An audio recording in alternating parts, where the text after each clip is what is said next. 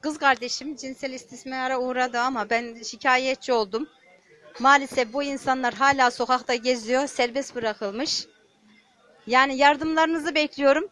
Hiç kimsenin bu da bu şekilde düşmesini istemiyorum. Daha önce de kendim yaşadığım şeylerden dolayı yani kız kardeşlerimizi, bacılarımızı bu şekilde düş, düşmesini istemiyorum.